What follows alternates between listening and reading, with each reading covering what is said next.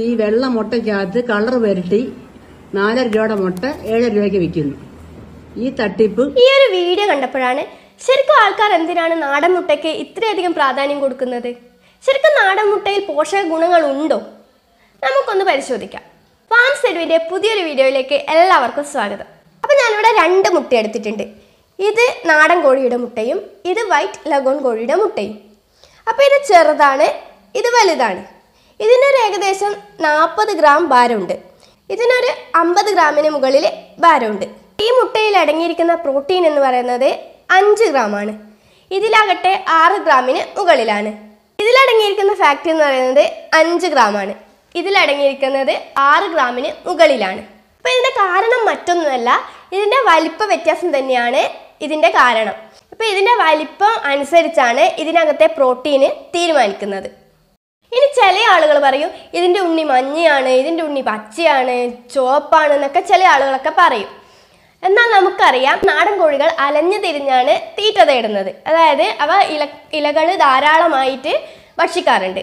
എന്നാൽ ഒരു white leghorn കോഴികളായിക്കോട്ടെ അവയെ കൂട്ടിലിട്ട് കോഴിത്തീറ്റ മാത്രം കൊടുത്താണ് വളർത്തുന്നത്. അപ്പോൾ പച്ചിലകൾ തിന്നുന്ന കോഴികളുടെ ഉണ്ണി എന്ന് പറയുന്നത് ചുവപ്പ് നിറത്തിലായിരിക്കും. അപ്പോൾ തീറ്റ മാത്രം കൊടുത്ത് വളർത്തുന്ന കോഴികളെ മഞ്ഞ ഉണ്ണിയായിരിക്കും. പക്ഷേ ഉണ്ണി ചുവപ്പായാലും മഞ്ഞയായാലും പോഷക ഗുണങ്ങൾ ഒരേപോലെ തന്നെയാണ്.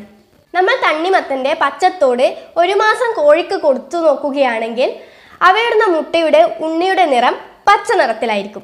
ഉണ്ണിയുടെ നിറം തീരുമാനിക്കുന്നത് അവ കഴിക്കുന്ന തീറ്റയുടെ പിഗ്മെൻസിന്റെ കളറിന്റെ അടിസ്ഥാനത്തിലാണ്.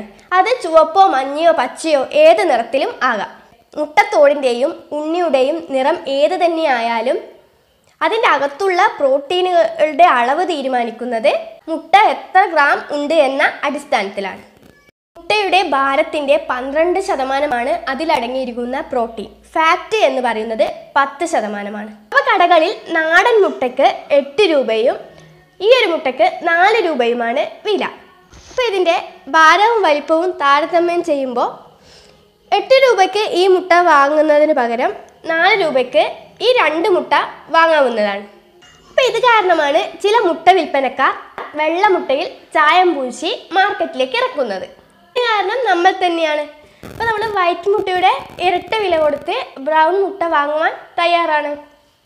അപ്പോൾ വീഡിയോ ഇഷ്ടപ്പെട്ടാൽ ലൈക്ക് ചെയ്യുക കമന്റ് ചെയ്യുക സബ്സ്ക്രൈബ് ചെയ്യുക. ഇനി അടുത്തൊരു വീഡിയോയുമായി വരുന്നത് വരെ ബായ്